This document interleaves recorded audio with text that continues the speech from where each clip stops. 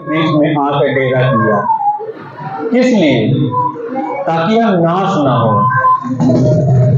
क्योंकि मनुष्य भोजन खाएगा, वस्त्र पहनेगा, आज और कल फिर वही काम करेगा। इसी तरह एक एक दिन अपनी आयु को घटाता जाएगा और एक दिन मनुष्य जो भूमि की मिट्टी में रचा गया है, एक दिन भूमि की मिट्टी में मिल जाएगा। मगर परमेश्वर नहीं चाहता कि जो परमेश्वर के पास लोग आते हैं, वो नाश हो जाएँ। परमेश्वर जैसे अनंत काल का परमेश्वर है, वैसे आपको भी परमेश्वर ने सदा के लिए तैयार किया है। सदा के लिए तैयार किया है। मगर हमारे पूर्वज, वो परमेश्वर की आज्ञा को ना मानकर परमेश्वर का विरोध कर दिए थे। और जो परमेश्वर का विरोध किए थे, उसी विरोध को हमारे परमेश्वर ने मुँह फेर लिया था हम लोगों से। और उसी जो परमेश्वर ने उसी प्रेम को, जो भूला नहीं था, पर कुछ समय से कुछ समय के बाद हम लोग से फिर से उसका प्रेम इतना उसको तड़पा दिया कि मेरी सृष्टि, जो मेरे हाथ की उत्तम रचना है, जिससे मैं बातें करता था वो मुझसे दूर हो गया था। और उसी दूरी को खत्म करने के लिए परमेश्वर ने अपने पुत्र को भेज दिया कि जब से इतना प्रेम किया तो उसने अपने इकलौते पुत्र को भेज दिया। हालेलुया। उसी परमेश्वर का आज वचन हम देखते हैं मत्ती की पुस्तक 26 अध्याय के 26 पद में जैसा वचन एक समय था यीशु मसीह जब इस पृथ्वी पर थे, शरीर के रूप में जैसे आप हैं आप हैं, वैसे परमेश्वर के पुत्र मनुष्य के रूप में आए थे और वो परमेश्वर के राज्य का सुसमाचार प्रचार करते थे। जैसे आज पास्टर लोग आपके लिए प्रार्थना करते हैं, बीमारों के लिए प्रार्थना करते हैं, और उनकी बीमारी परमेश्वर उनके शरीर से उठा लेते हैं। यहाँ तक कि मुर्दे भी जी उठते हैं, परमेश्वर के दास जब प्रार्थना करते हैं परमेश्वर से तो उस प्रार्थना को परमेश्वर के सामने रखा जाता है और ऐसा नहीं रखा जाता है। अपने मन की भावना को, उस वेदना को परमेश्वर के सामने टूटे हुए मन के साथ जब प्रार्थना कोई करता है, चाहे कोई लड़का हो, चाहे कोई स्त्री हो। हर एक मनुष्य पर और हर एक स्त्री पर लागू होता है, क्योंकि परमेश्वर का आत्मा एक है। आत्मा एक है, चाहे स्त्री का हो, चाहे पुरुष का हो। अगर आप प्रार्थना करेंगे तो परमेश्वर उस भाई के लिए, उस बहन के लिए जो आप प्रार्थना करेंगे, परमेश्वर आपकी प्रार्थना को सुनेगा और उस भाई को उस बंधन से, उस श्राप से, उस बीमारी से आज़ाद करेगा और उसे जीवन देगा। क्योंकि परमेश्वर का पुत्र इसीलिए आया ताकि तुम जीवन पाओ। और जब उसके मार्ग पर चलते रहोगे तो परमेश्वर ने एक वादा और किया है अनंत जीवन देने के लिए। अरे यहाँ पर दो जीवन की बात आती है। एक जीवन देने के लिए जब आप बीमार थे, परमेश्वर ने आपकी सुधी ली, आपको चंगाई दे दिया, आप अच्छे हो गए। अब जब प्रभु के मार्ग पर आप चलते रहेंगे, परमेश्वर के बताए हुए वचन को आप याद रखेंगे और बुराई से दूर भलाई में लगे रहेंगे तो परमेश्वर का वचन कहता है कि मैं जगत में ज्योति होकर आया हूँ ताकि जो मेरे पीछे हो लेगा वो अंधकार में ना चलेगा। किससे साथ चलेगा वो? ज्योति के साथ चलेगा। और ज्योति ने वादा किया है कि जैसे पिता ने मुझको भेजा है और पिता ने मुझको जो दिया है मैं उसको कभी वापस नहीं करूँगा। वापस कभी नहीं लौटाएगा। और वो अपने साथ लेकर जाएगा अनंत जीवन देने के लिए। हालेलुया। तो एक समय की बात है जब प्रभु यीशु मसीह एक स्थान पर उन्होंने भोजन करने के लिए अपने चेलों को इकट्ठा किया। बोलो। और इकट्ठा करके उस रात उन्होंने एक मेज पर भोजन करने के लिए जब वहाँ पर इकट्ठा हुए तो प्रभु यीशु मसीह का वचन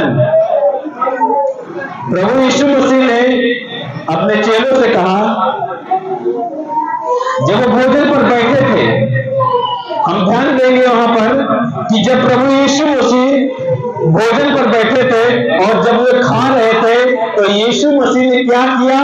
उन्होंने रोटी ली। रोटी ली और अपने चेलों को यह देकर यह देकर कहा, उस रोटी को देकर कहा, क्या कहा?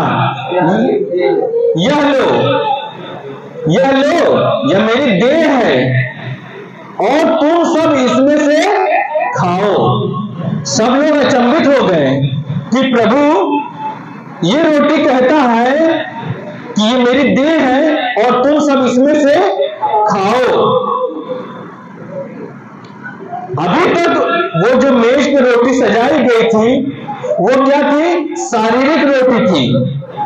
अविश्वास की रोटी थी, जिसको हम रोज खाते हैं और उसके बाद फिर भूखे हो जाते हैं। फिर रोज खाते हैं। ऐसा होता है ना?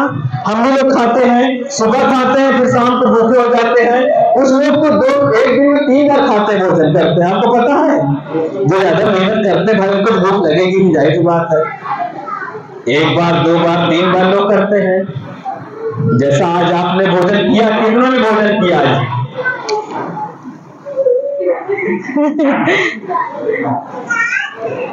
आपको आशीष दे क्योंकि परमेश्वर ने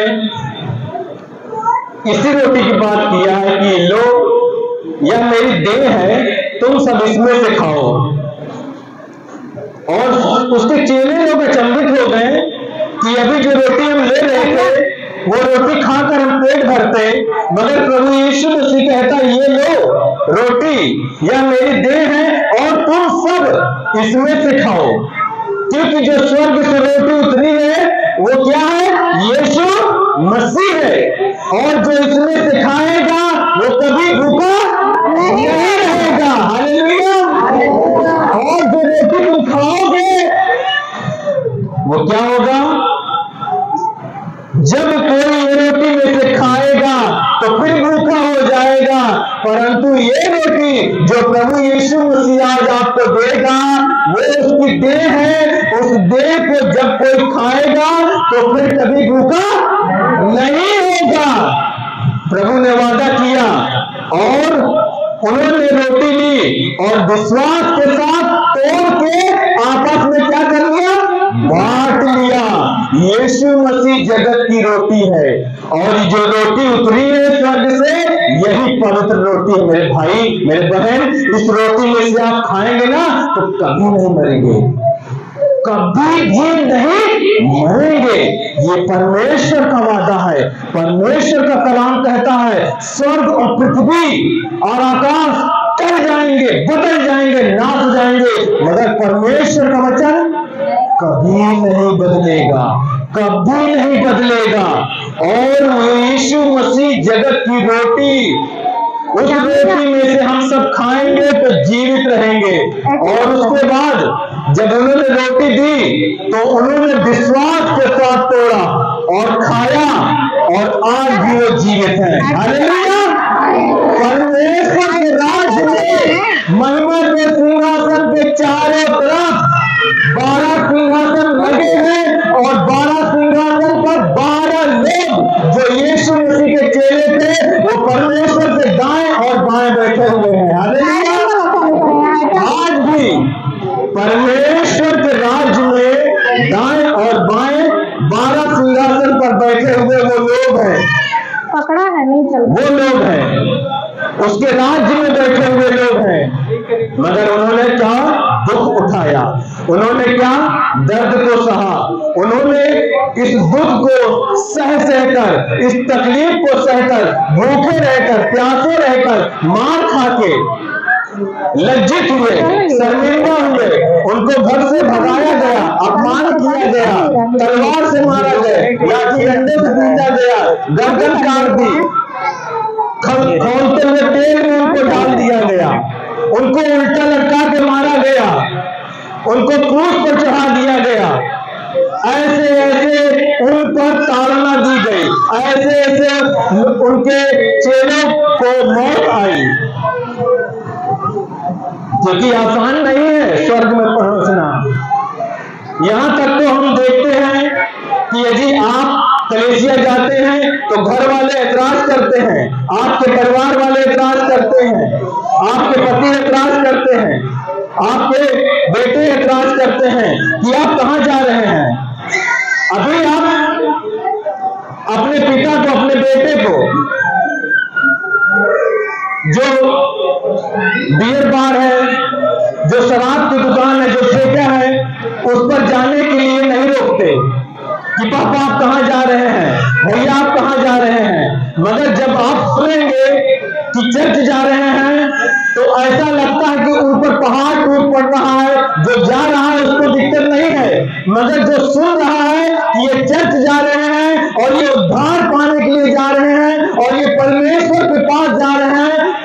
हमको दिक्कत होती है कि उद्धार क्यों पाने जा रहे हैं? मेरे भाई, मेरे बहन, सिर्फ़ उद्धार पाना ही परमेश्वर का मकसद है कि आप नाश ना हो, परंतु अनंत जीवन पाए।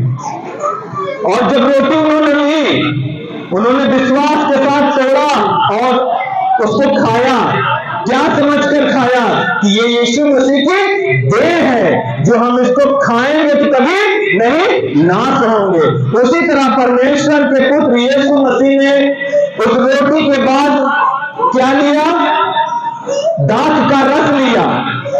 दाख का रस लिया और कहा, यह वाचा का मेरा वह लहू है जो तुम्हारे लिए बहाया जाता है। यह वाचा का मेरा वह लहू है जो तुम्हारे लिए बहाया जाता है। तुम सब मेरे निमित्त में इसी तरह किया करो किया करो। वाचा का यह लहू सुनो मेरी बात। कि कौन सी वाचा परमेश्वर कहता है, बिना लहू बहाए तुम्हारा उद्धार नहीं हो सकता और बिना लहू के द्वारा तुम्हारे पापों की क्षमा नहीं हो सकती। और वो लहू किसका बहेगा? परमेश्वर के इकलौते पुत्र का बहेगा। तभी मनुष्य का पाप क्षमा होगा उसी लहू से। क्योंकि उसी के लहू के द्वारा और कोई पवित्र लहू इस पृथ्वी पर नहीं है। सबका लहू सबका लहू चिल्ला रहा है। सबका लहू चिल्ला रहा है कि मैं पापी हूँ, मगर आपका मुँह नहीं कह रहा है कि मैं पापी हूँ। मगर आपका लहू कह रहा है कि मैं पापी हूँ। ये अपनी आत्मा से पूछ लो, मैं सच कह रहा हूँ। सबका लहू यही कहता है कि मैं पापी हूँ, क्योंकि लहू चिल्लाता है। लहू जो है, वो चिल्लाता है और लहू में प्राण रहता है। और वही लहू चिल्लाता है, परमेश्वर की, परमेश्वर मैं पापी हूँ, मगर आप अपने मन को कठोर कर लेते हैं और परमेश्वर के सामने कहते हैं, मैं पापी नहीं हूँ। ताकि आप जानते हैं कि मेरा आत्मा सत्य कहता है कि मैं पापी मनुष्य हूँ। जब कोई परमेश्वर के सामने अपने पापों का अंगीकार करके मान लेगा कि मैं प्रभु पापी मनुष्य हूँ तो परमेश्वर की दया और प्रेम इतना महान है कि वो आपके पापों को श्वेत कर देगा हिम के समान कर देगा। हिम जानते हैं ना? बर्फ़, वो बर्फ़ जो पहाड़ पर्वत पर गिरता कैसा हिम हिम रहता सफ़ेद बिल्कुल से रहता है, उजला हुआ। वैसे परमेश्वर आपके पापों को कर देता है, जैसे आपके पापों के अंदर परमेश्वर आ जाता है। अंधकार में प्रकाश आ जाता है और अंधकार दूर हो जाता है। वैसे आपके देह से, प्राण से, आत्मा से पाप दूर हो जाएगा और वहाँ पर परमेश्वर का पुत्र आ जाएगा। तो परमेश्वर का पुत्र यीशु मसीह रोटी देने के बाद उसने कहा, क्या कहा? कटोरा लेकर परमेश्वर का धन्यवाद किया किस लिए धन्यवाद किया? इसलिए कि परमेश्वर ने अपने पुत्र को पृथ्वी पर इसीलिए भेजा कि जाओ, तुम मेरे लिए अर्घ का लहू चढ़ाओ और मेरे लिए प्रतिज्ञा को पूरी करो। इसलिए मैंने तुमको रचा है, बनाया है, और पृथ्वी से पहले और सृष्टि से पहले मैंने तेरे साथ वाचा बांधी है, और उस वाचा को मैं पूरा करूँगा।